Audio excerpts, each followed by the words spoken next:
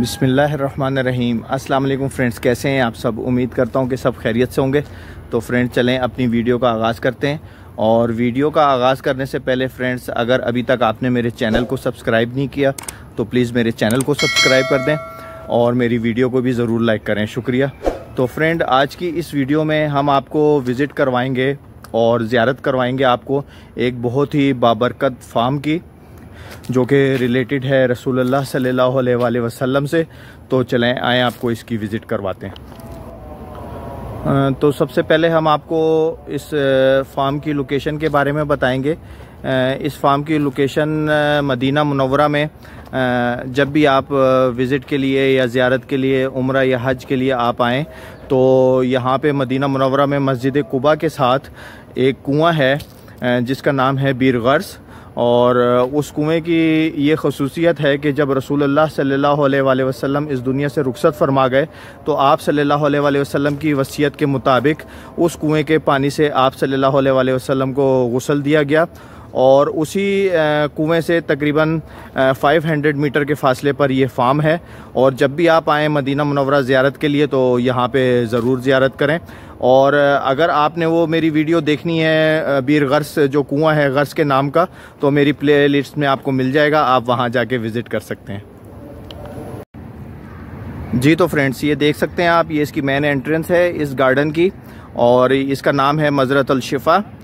और ये फ्रेंड्स सबसे पहले हम आपको इसकी लोकेशन के बारे में बताएँगे। जैसे ही आप मस्जिद कुबा आएँ, यहाँ पे मदीना मुनवरा में और मस्जिद कुबा की ज़्यारत करें और वहाँ पे नवाफिल अदा करें और नमाज़ अदा करें।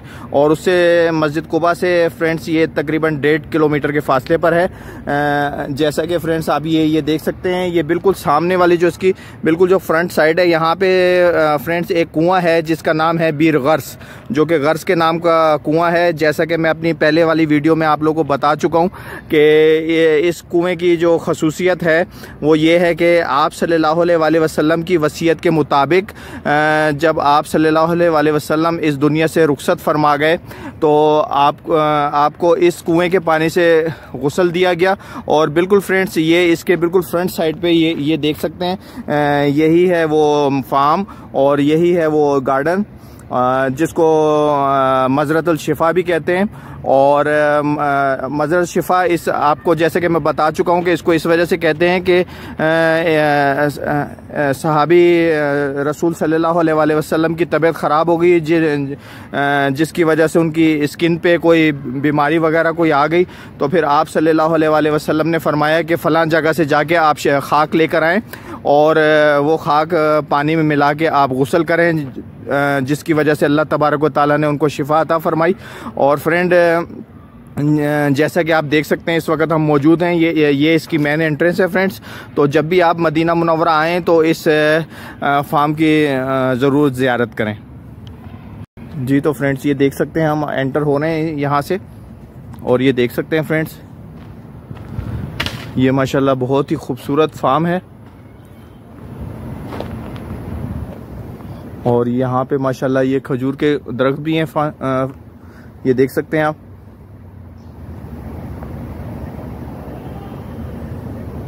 और ये देख सकते हैं इस पे खजूरें भी माशाल्लाह लगी हुई हैं।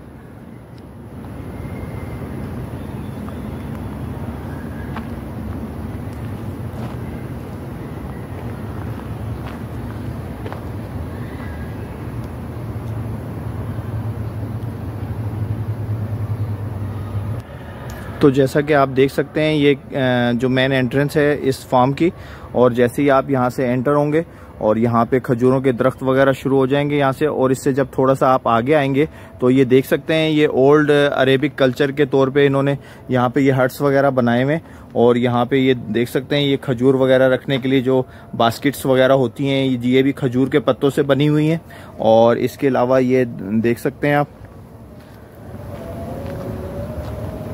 और ये यहाँ पे सुराहियाँ वगैरह भी रखी हुई हैं, जैसे छोटे मटके होते हैं, सुराही ये रखी हुई हैं, जैसा कि ओल्ड अरेबिक कल्चर है।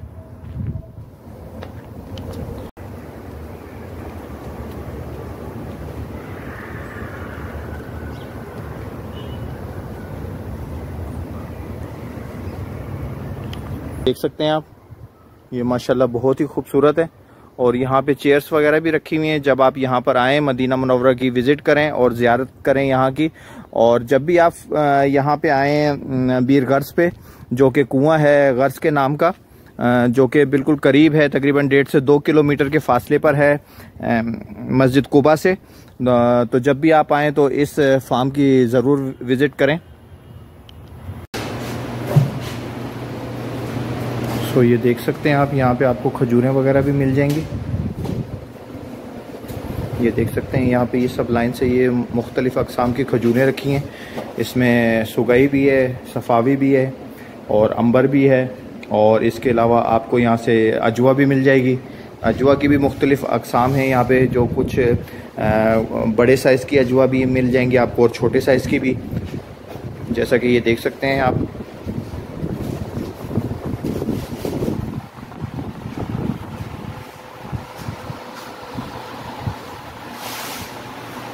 तो जब भी आप मदीना मुनवरा आएँ तो यहाँ पे इस फार्म की ज़रूर विज़िट करें।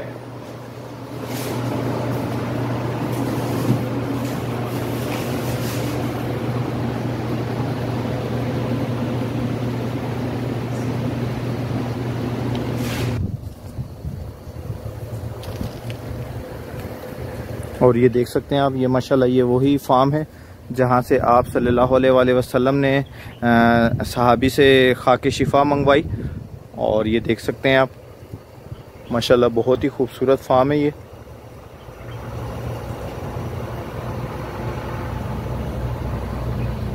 ये ज़्यारत करें फ्रेंड्स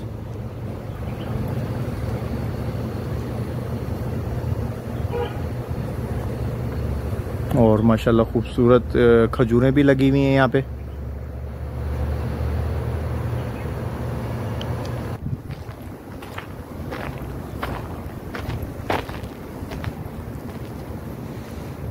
ये देख सकते हैं फ्रेंड्स, ये भी हर्ट्स वगैरह बने हुए हैं यहाँ पर ही। ये देख सकते हैं आप कि ये जो सामने जो है, ये कुआँ है, जिसका नाम है बीर गर्स, और ये तकरीबन मस्जिद कोबा से डेढ़ से दो किलोमीटर के फासले पर है, और बिल्कुल इसके फ्रंट साइड पे ये ये देख सकते हैं कि यही वो फार्म है जिसका नाम है मजरत अल शेफ़ा, और जब भी आप मदीना मुनवरा आएँ तो इस फार्म की ज़रूर विज़िट करें। सो फ्रेंड्स उम्मीद करता हूँ मेरी आज की वीडियो आपको पसंद आई होगी। अगर मेरी वीडियो पसंद आए तो मेरी वीडियो को लाइक कर दीजिएगा और मेरे चैनल को भी सब्सक्राइब कर दीजिएगा। इंशाल्लाह मिलते हैं नेक्स्ट व्लॉग्स में। जब तक अपना बहुत बहुत ख्याल रखिएगा। अल्लाह हाफिज़।